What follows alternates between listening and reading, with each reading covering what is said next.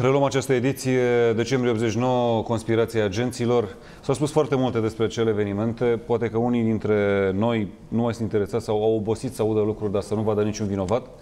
Este însă important, așa cum ați văzut la miezul problemă, am adus martori care timp de 15 n-au tăcut, să adunăm secvență cu secvență pentru a înțelege bine ce s-a întâmplat, ca să înțelegem ce ni se întâmplă acum și de ce lucrurile nu au evoluat poate cum ne-am dorit atunci cei mai mulți dintre noi. Da. Uh, în legătură cu telespectatorii care ne-au telefonat și au întrebat de ce nu mai intră mesajele, se pare că e o defecțiune tehnică.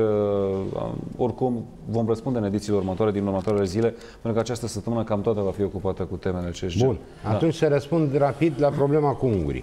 Da. În primul rând, să nu exagerăm, ungurii nu erau o mare putere, oricând îi putem bate și cu mâinile goale. Uh, no, ungurii aveau altă situație. Ei erau sub stăpânire sovietică, aveau trupe sovietice pe teritoriu. Majoritatea activiștilor de partid și ofițerilor de informații de la ei erau pregătiți la Moscova la serviciile secrete sovietice. Deci când vorbim de serviciile secrete ungurești, vorbim de slujile secrete KGB-ului și ale GRU-ului. Deci slujile, Bine, slujile, atunci, slujile atunci. erau subordonați și executau în tocmai. Iată Dar cele două, de generalul Stăncurescu. Iată cele două evenimente care mă ne interesează. S-au întâmplat pe spațiu unguresc, dar mie nu spune nimeni și nu-mi demonstrează nimeni că nu au fost inițiate de ruși. În primăvara în 1989, pentru prima dată, după evenimentele din 1968 din Ceoslovacia, ne-am trezit că Direcția Informației Armatei Maghiare face o aplicație comună cu Direcția Informației Armatei Române. În momentul în care eu, în calitate de șef birou contraspionaj, Contraspionul este securistul care se ocupă de contraspionaj. Că m-a întrebat cineva de ce nu spun că e securist. Păi securist, cum spui, muncitor. Băi, de care muncitor? Forjor, tâmplar? Ei, securiști erau și contraspioni, erau și filori, erau Oricum, și de alte. De DSS, Bun. Eu, în calitatea mea de șef de contraspionaj, trebuia să avizez această asigurare, această activitate. Am cerut aprobarea comandantului suprem, să o văd eu cu ochii mei, că altfel nu aprob desfășurarea acestei activități. Într-adevăr, cineva, nu Comandul Suprem, a aprobat această aplicație comună pe teritoriul românesc, în zona Bihor, cu taburi românești cu aparatură de cercetare ungurească. Acolo a fost prima trădare. Nu știu cine a efectuat-o, deoarece eu nu puteam să mă duc la Nicolae Ceaușescu să-i bat la ușă și spun, tovarășul Nenicu, știți, uite, ăștia fac aplicații pe teritoriul românesc, au primit trupe maghiare încă tocmai din direcția informației, nu de infanterie, de nu știu ce. Direcția informației înseamnă direcția de spionaj, să ne mai ocolim așa pe undeva. Aceasta e prima uh, chestie. Asta s-a întâmplat în luna martie-aprilie 1989. În vara anului 1989, o grupă de ofițeri din armata română, dintre care și un ofițer, șef al cercetării din Direcția Informației, au petrecut un concediu de odihnă prin reciprocitate în Ungaria, la lacul Balaton. Uh, posibil să se fi distrat ca oamenii. Uh, erau aceste obiceiuri. Între țările socialiste se făceau schimburi de delegații. Dar la fel de bine puteau să se fi întâlnit cel puțin unul dintre ei cu persoanele care pregăteau acțiunile care urmau.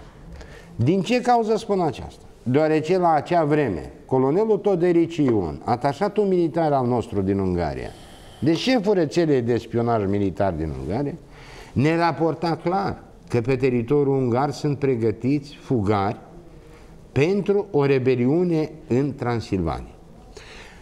Dovadă, dovadă și acum arunc, arunc, arunc, arunc, dumneavoastră mi-a spus că arunc bombe. Eu spun numai lucruri, informații reale, pentru că deja sunt perimate, Oamenii nu mai pot fi trași la răspundere pentru acele fapte deoarece s-a prescris și acum vă spun care e treaba. În momentul în care n-am avut aceste informații, am trimis agenți prin fugă aparentă.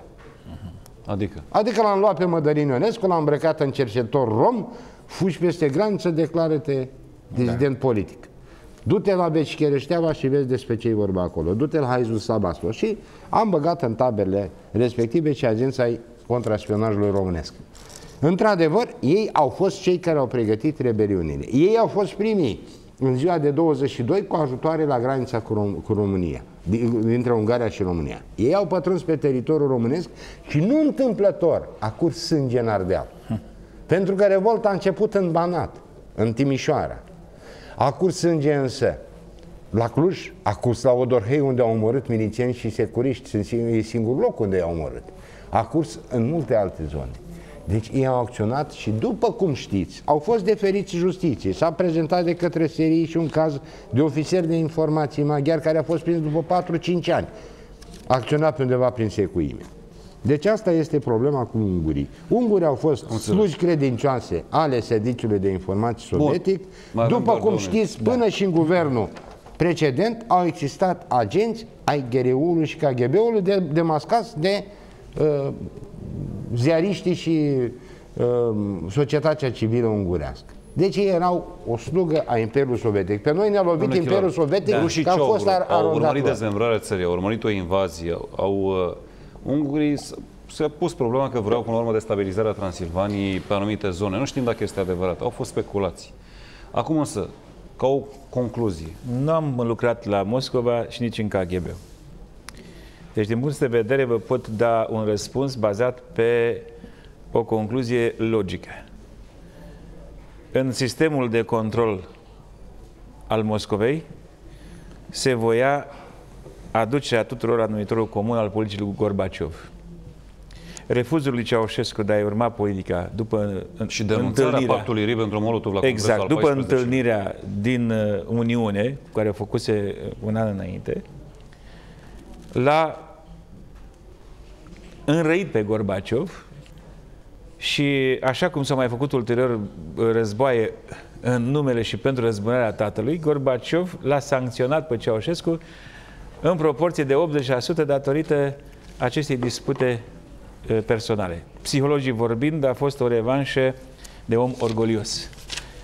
Doi, a găsit și fraierul din față care alt orgolios și alt încăpățânat, dar din câte informații avem, Uniunea Sovietică de la acea vreme nu și-a propus să destabilizeze sistemul uh, țărilor foste socialiste. Asta e important. Deci nu se pune problema că ar fi validat vreo inten- intenția unora de a dezmembra România. Vreau să-mi confirmați de că scurt aceea, la finalul emisiunii. De aceea, în momentul când a fost contactat ministrul apărării uh, ungar, chiar pe momentul uh, declanșării evenimentelor, de, pentru a se uh, trage o anumită concluzie strategică, acesta a confirmat că nu se pune problema la frontiera de Bun. vest. Mulțumesc uh, pentru prezența în cadrul emisiunii. Mai puteam să Un vorbim moment. despre teroriști arabți. Dacă Așa. îmi permiteți o jumătate de minut.